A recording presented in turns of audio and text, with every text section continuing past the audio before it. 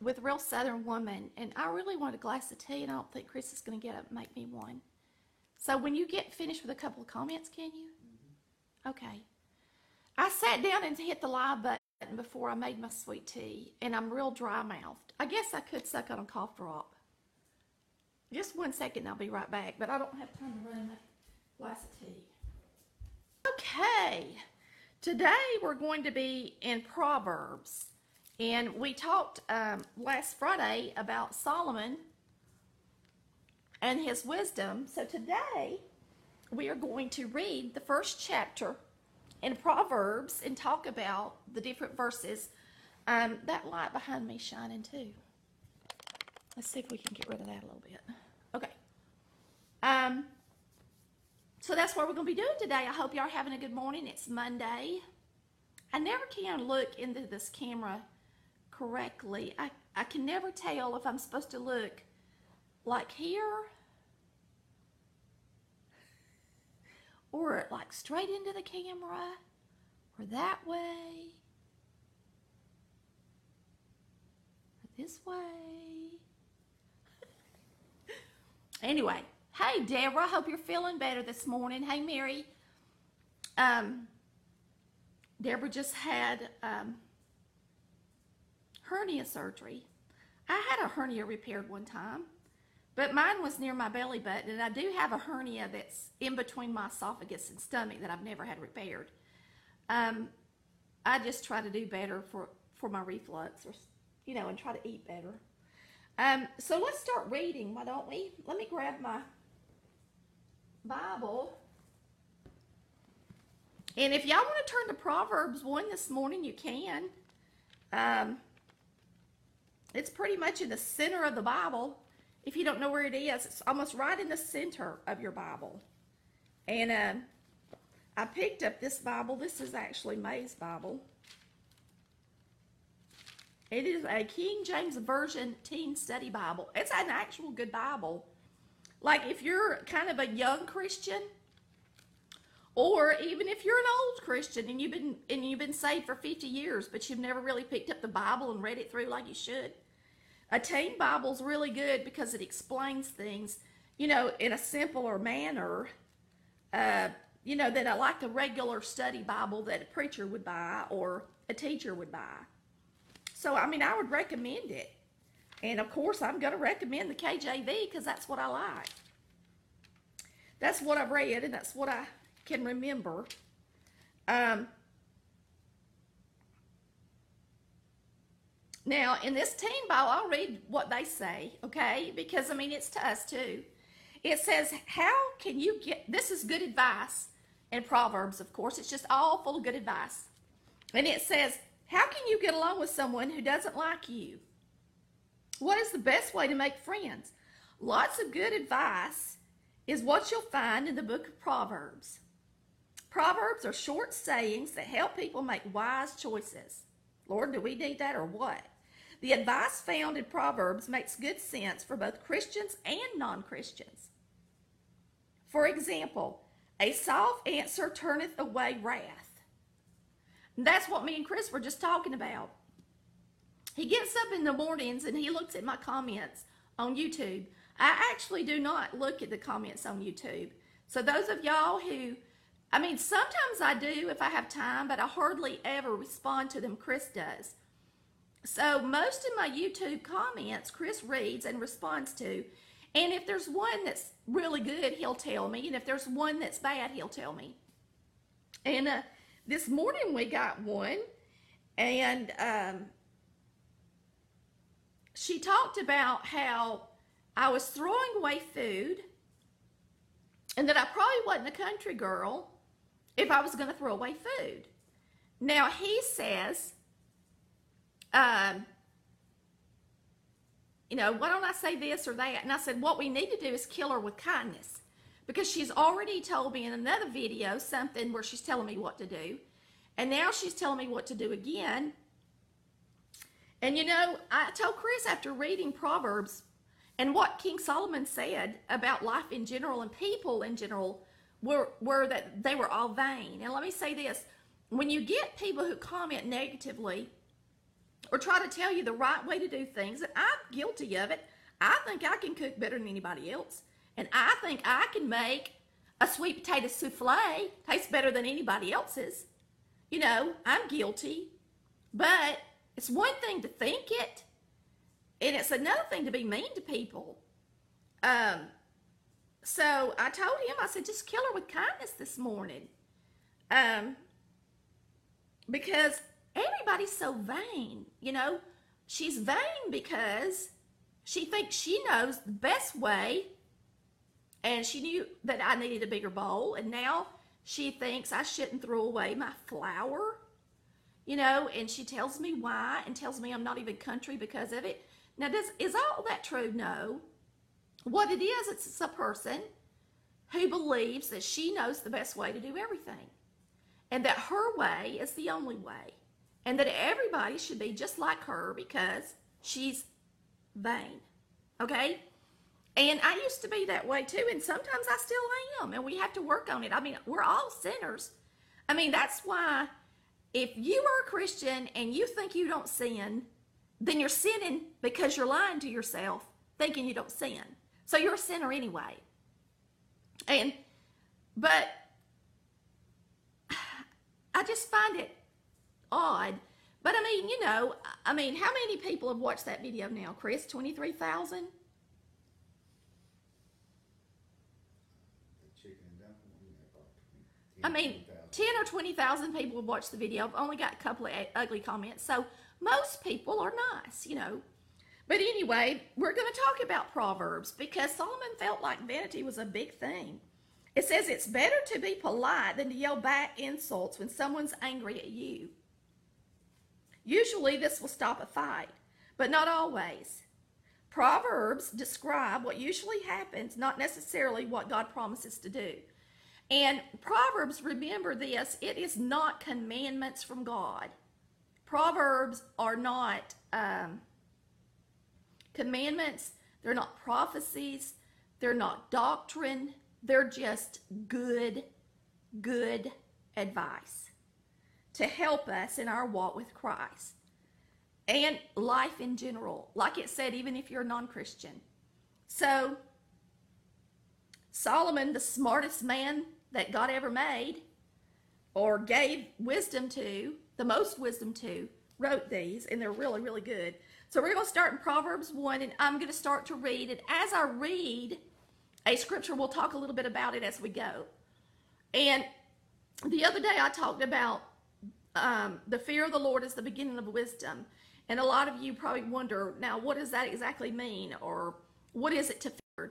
That kind of thing. Um, so we're going to talk about this this morning.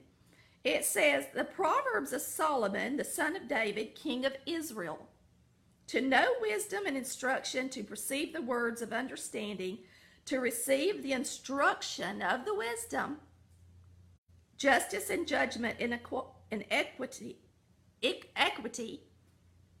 And I think I looked that one up. y'all, uh, I got the vocabulary of a country girl too. Let me wait a minute.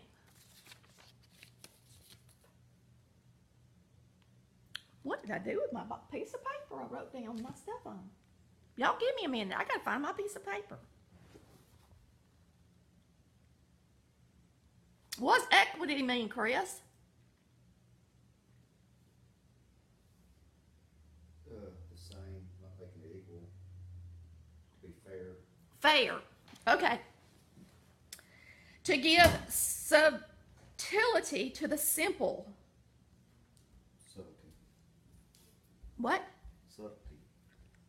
Sub. It says S U B T I L T Y. Subtlety. Subtlety. To the simple and to the young man, knowledge and discretion. Let me find my paper where I wrote this stuff down. I don't know what I done with my paper.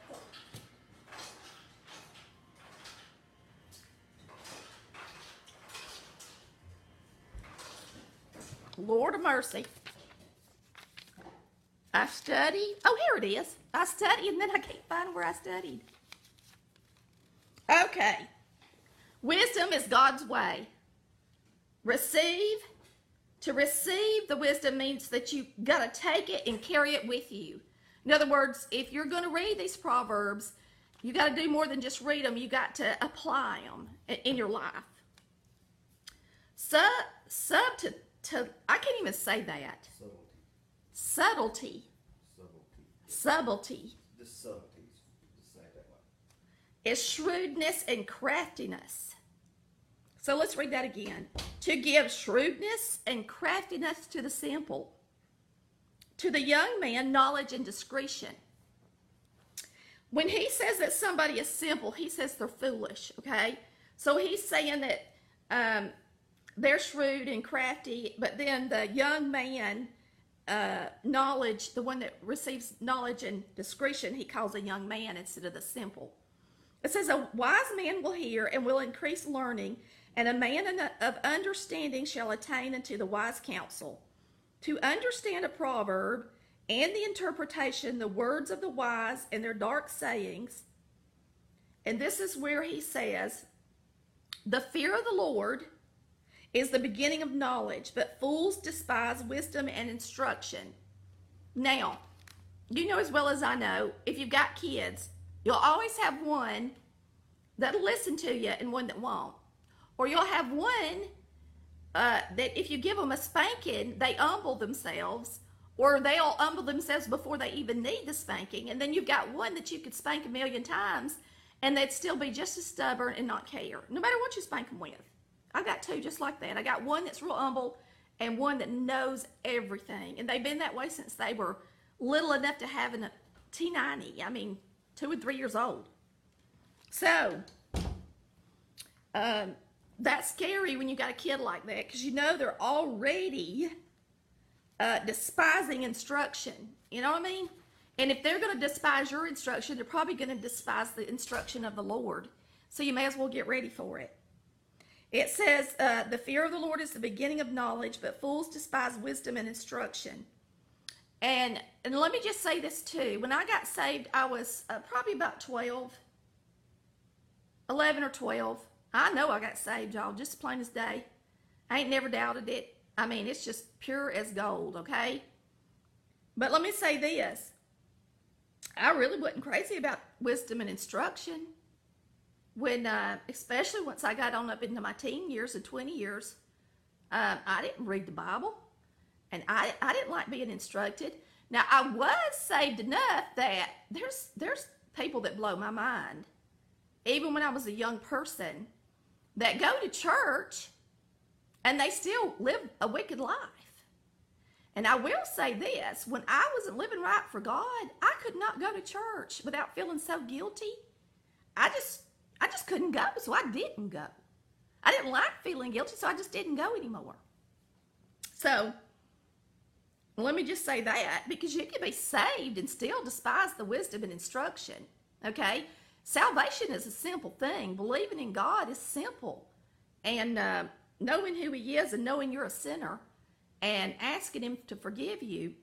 But what's hard is wanting to be wise and wanting to know and follow His instructions.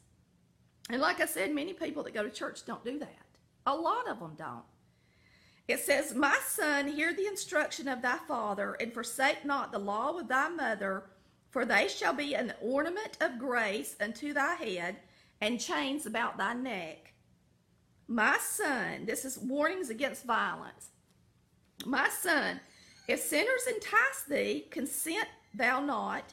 If they say, Come with us, and let us wait for blood, and let us lurk privily for the innocent without cause. And let us swallow them up alive as the grave and whole, and as those that go down into the pit. We shall find all precious substance. We shall fill our houses with spoil. Cast in thy lot among with us, and let us all have one purse. My son, walk not thou in the way with them. Refrain thy foot from thy path, their path. And all that saying is these people said, you know, they're they're uh, planning and scheming and stealing and gaining what other people have worked hard for and they think they deserve it and they share it and they're all the same. And he says, For their feet run to evil and make haste to shed blood. Surely in vain the net is spread in the sight of any bird. Now look this one up. Surely in vain the net, which is a trap, is spread in the sight of any bird, but it means man. So he's letting them know that the vanity spreads a, a trap for every man. That's us too women, men and women. Vanity is a trap, okay? And it's a sin. And uh, whether that lady realizes it or not, but her being ugly, ugly to me on my site and thinking that her way is the only way and the best way, it's sinful. And it's sinful to me too. And I'm going to have to work on that when we get out to California if we get to go uh, to make sure that I let my team cook. Now, I will taste it. And if I think they should add something, I will tell them. But I have to have confidence in their ability to cook and not feel like I have to take control because if I do that, then it's sinful. It says, um,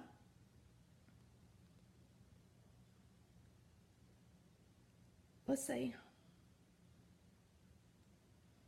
If they lay wait for their own blood, they lurk privily for their own lives. So are the ways of everyone that is greedy of gain, which taketh away the life of the owners thereof. Now, this is about wisdom crying out. And wisdom are the ways of the Lord, okay? And the Lord reveals himself to us in different ways in different different times in our life. And this is real important. This is the most important part of the proverb to me. And it says, Wisdom crieth out, she uttereth her voice in the streets. She crieth in the chief place of concourse, in the openings of the gates, in the city. She uttereth her words, saying. Now, what this means is that wisdom cries loud out where everybody can hear it. Like if there's a um, place where it can be amplified in the city, that's where wisdom would be and she would be yelling the ways of the Lord for everybody to hear her. Okay, that's what that means. And it says, How long, ye simple ones, which means foolish ones, will ye love simplicity, foolishness? And the scorners delight in their scorning. That means they boast. They delight in their boasting, and fools hate knowledge. Now, this is not knowledge about reading about science or math or literature. It's knowledge of the word of the Lord, okay? And it says that fools hate it. Turn you at my reproof. Behold, I will pour out my spirit unto you. I will make known my words unto you. Because I have called and you refused. So wisdom is called. So if you're hearing this right now and you're going to go off and you're not going to listen, Wisdom's calling, okay? It says, I have called, and it's not me, it's the word of God, not me. It says, But you have, uh, but I have called, and you refuse. I have stretched out my hand, and no man's regarded it. But ye have set at naught all of my counsel, and would none of my reproof. You wouldn't have my counsel. You would you wouldn't have my reproof getting on to you. I also will laugh at your calamity. I will mock when your fear comes. When your fear cometh as desolation and your destruction cometh as a whirlwind, when distress and anguish comes upon you, then shall they call upon me. But I will not answer. They shall seek me early, but they shall not find me. For they that hated knowledge and did not choose the fear of the Lord, they would none of my counsel, they despise all of my reproof. Therefore shall they eat of the fruit of their own ways. worldly ways and be filled with their own devices. For the turning away of the simple shall slay them, and the prosperity of fools shall destroy them. And destroy here means kill. But whoso, listen to this, but whoso hearkeneth unto me shall dwell safely and shall be quiet from the fear of evil. That is so amazingly shouted out, black and white. It's the first chapter that Solomon tells us about. It's the first thing he lets us know is the most important in our life is the fear of the Lord and walking in the ways of the Lord. And he lets us know that if we're foolish and we ignore it, that when we get ready for God for something and we want to get down on our knees and pray, if we get the call and we've got cancer, or we get the call and our kids had a wreck going down the road, he may not listen. Now, some of y'all might not like that, may not believe it. They might you might think God is always there. And God is always there with his arms wide open. But I have to say, there's places in the Bible that say he's not. Not every time. It's according to how much you have been shown by wisdom crying out to you. It's according to how much he has been a part of your life to show you what what you needed to be doing and you ignored him. Now, um, that's up to God, and only we, and only God knows whether or not He'll answer our call. But it's He says plainly, if you hearken unto Him, you'll dwell safely, and you shall be quiet from the fear of evil. And let me say this: the only way we hearken unto Him, it's not just salvation. It's, um, I mean, once you're saved, you're His child. You're a child of the Lord. And he may reproof you and he may, you know, chastise you. But um, his wisdom comes from reading his word, y'all. Not just listening to the preacher, not just listening to a Bible study, but you actually reading his word. You get so much more out of that. That's the only way he could talk to you. And I've said this before we talk to him through prayer, and none of us, I'm sure I'm guilty, pray as much as we ought to. Um, because if we did, we would um, get rid of our burdens and our heavy loads and our cares, and um, we would just be, it would just, it's just be amazing. But let me say this um, the only way God can talk to you is not through some you know, crazy angel showing up in your house or something stupid like that that people think. God talks to you through His Word. That's the only way He talks to y'all. So if and, and me, so if we never pick it up and read it, um, He don't ever get to talk to us. And what kind of relationship is that really? A lot of us think we have this great relationship with God and we have this great relationship with Jesus Christ, but we never even pick up our Bible and read it. We think we got a great relationship just because we read a few verses, you know, when we go to church or look at a Bible study. But um, I mean, I'm guilty too, y'all. I'm just as guilty as you are. But we need to work on it, okay? According to um, Solomon, wisdom's crying. Wisdom is crying out loud to us. Read me. This is this is God's ways. This is God's commandments. This is all about Jesus Christ. This whole book is the Word of God. In the beginning was the Word, and the Word was God, and the Word was with God. That's Jesus Christ, y'all. Um, Teresa says she don't have a Bible. Teresa, I'll mail you a, a Bible if you'll if you will send me a personal message and your email and your actual address. I will send you a good study Bible. I've got so many Bibles in my house. Chris says I'm a Bible nut. Every time we go somewhere, I pick one up. he gets tired of it. I'll send you one of my Bibles. Um, and like I said, if you're if you're new at reading the Bible, regardless of how long you've been saved, if you're kind of new at reading it, a teen study Bible really is a very good Bible to start with. I think it's much better than starting with a uh, regular study Bible. I mean, if I had never read the Bible a couple of times, I wouldn't want to start out with a study Bible. Um, it's harder to understand, okay? And don't think you can't understand the King James Version. It's written on a fourth grade level. And surely all of you have been through the four, four, third or fourth grade. Uh, it's not that hard. Another thing is if you're saved, you got the Holy Spirit living in you.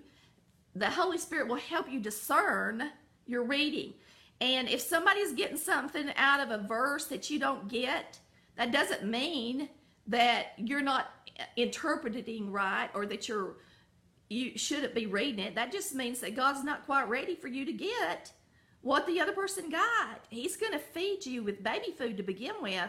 Then he's going to start feeding you with some fruits and vegetables, and then he's going to start feeding you the meat. So don't think you can pick up the Bible and just start with the meat of it, okay? That's not how it works, y'all. Um, that's just not how it works. Uh, have faith in God. Pray that He'd help you uh, interpret the Bible. Don't just throw it to the side and just automatically assume that none of it makes sense and that, you know, you'll just wait until somebody tells you about it. Um, don't do that. That's how God speaks to you. And it changes your life. It really changes who you are on the inside. If I get up and I read my Bible, y'all, I'm a better mama. I'm a better wife. I'm a better neighbor.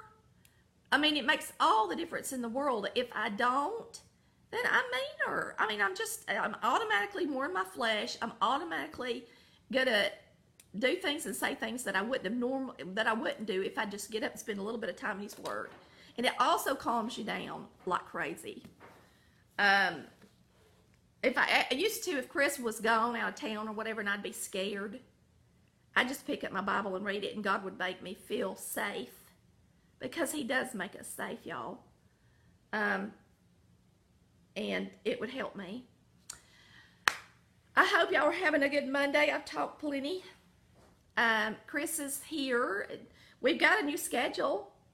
I'll tell you what's on the schedule for today. You'll probably think a schedule. Lord, you're retired. If I don't have a schedule, I lose my mind. Mondays, Bible study. Clothes, we do the clothes. We wash all the clothes and we dust the house and we run errands and we see mom and we stock up her stuff. On Tuesdays, we do sheets and floors. Wednesdays, trash and toilet paper etc., making sure everything's stocked. Thursday, doctor's appointments. Friday, Bible study and clean the bathrooms. Saturday, uh, live Facebook videos and cooking for videos. Sunday, all I do is make a menu and go to church and rest. That's it. Um, I will say this to y'all so y'all can pray. Um, I have found an area above my right breast that is getting thick, feels thicker. I went to my breast surgeon the other day. Remember, I told y'all it looked made me look like I have cleavage, and I really don't. Well, I went to the breast surgeon, and he says that it's not uh, got anything to do with my implant. That he feels like it's fatty tissue. And of course, he, you know, said we could always do liposuction there. And me and Chris was like, well, we're losing weight. You know, I don't want to have a liposuction done when I'm losing weight and it might go away anyway. But um, the problem is, is that it feels, it feels if I if I run over it, it feels kind of like a longer like a longer piece of tissue about that long, and it's kind of thick feeling. Okay, it doesn't feel like a round tumor or anything like that. But when I had triple negative breast cancer, that's exactly how it felt when it started. And I had one in the bottom that was an actual tumor, and then I had one on the top that was still encased. It wasn't invasive yet. But the one on the top felt just like that, y'all. It didn't feel like a tumor or nothing. It just felt like a little thick area, kind of like scar tissue feels. So Tuesday, I made an appointment and I'm going to my breast doctor. Now, this is a different man. And I'm going to flat tell him, you're going to ultrasound it while I'm here and needle it while I'm here. Because whether or not you think it's cancer or not, don't matter to me. I want to know that it's not. So hopefully Tuesday I will be going in and he'll needle it. Needle biopsies are so easy. They just stick a needle in there and draw it out. The last time I had cancer, when they needled the top one, that's all they did is a little needle. It came back positive. And uh, so I just want to check it out so that I feel better. And maybe it's nothing because that whole side's been radiated and that I'm not supposed to, nothing's supposed to come back when you've been radiated. But you know, hey. But y'all can pray for that. Um, and I probably won't know anything for a couple of weeks, I wouldn't think, or at least seven days or so. I'll ask them. But um, and even if it is, hey, I beat it once, I'll try to beat it again, right? I'm not worried about it because I know I'm in God's hands. I really not. Um, he'll he'll get me through it, and if he don't, I'm just going to be walking on streets of gold. I mean, how could anybody be so scared to go to heaven? I have no idea. And people go, it's your natural instinct not to want to die. Yeah, kind of. But if you know you're secure and where you're going is so much better and full of splendor and amazing, and Christ said, um, wait a minute. I'll get it in a minute. It takes me a minute. I just know he know he says that he'll come again and he's preparing a place for us and for where you will be there also. In other words, he's gonna he's he's preparing our home in heaven and it's supposed to be wonderful. So I'm not worried about going to heaven. I'm really not. Um and if my kids have got any of the drive that I have in me, then I'm not worried about them either because they'll make it, you know. Um, yes, to die is gain. Ain't that the, the truth? And people don't understand that. Most people don't. But I mean, good Lord, have mercy. Could you imagine living in a place with no sin, with no aging, with no um, bitterness and anger and wrath and vanity and just a beautiful place with streets of gold and walls of uh, precious stones. Anyway, let's say our prayers. We're losing some. I'm, I'm, I'm uh, dreaming too much about heaven, I guess. Dear Heavenly Father, we just thank you today for this Monday, the new day um, of our week. I know Sunday is, but I kind of think it's the work, starting with the work day. Uh, help us have a blessed day. Be with all the ladies and gentlemen who choose to watch the Bible study. May your wisdom cry out, Lord, to us and others in the streets and in the courtyards. And may our ears be open and hear. And may we look, take our eyes and, and let them see in your word, Lord, instead of just in this world. Um, just be with us as we go throughout the day. In Christ's name we pray. Amen. Y'all have a wonderful, wonderful day. I love you all. Bye. See you Friday.